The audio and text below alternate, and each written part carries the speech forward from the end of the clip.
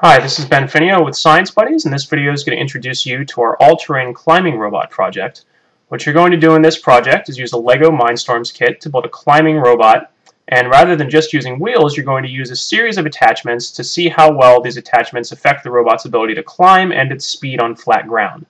So you'll see our setup here. We have a staircase made from a pile of textbooks, and the robot that just has wheels attached to the motors has a bit of trouble getting up these stairs. It can make it up the first couple, but then it gets stuck. And if instead we put these different attachments onto the motors, we can actually greatly increase the robot's climbing abilities. So here you see this one has very little trouble getting up and over that set of stairs, and the same goes for our other differently shaped appendages.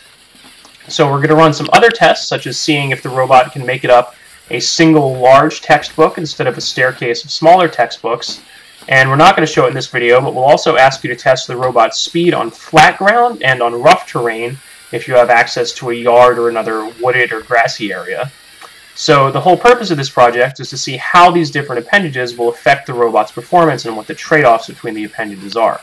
Remember that this is an engineering design project, so you're free to design your own robot and your own appendages. You don't need to follow our directions exactly, but we will provide some ideas to get you started. So we hope this video has given you some inspiration and that you'll enjoy the project, and good luck!